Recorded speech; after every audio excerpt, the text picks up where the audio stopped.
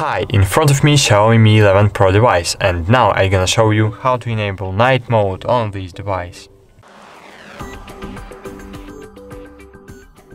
Firstly open the control panel and here you will see uh, all your toggles.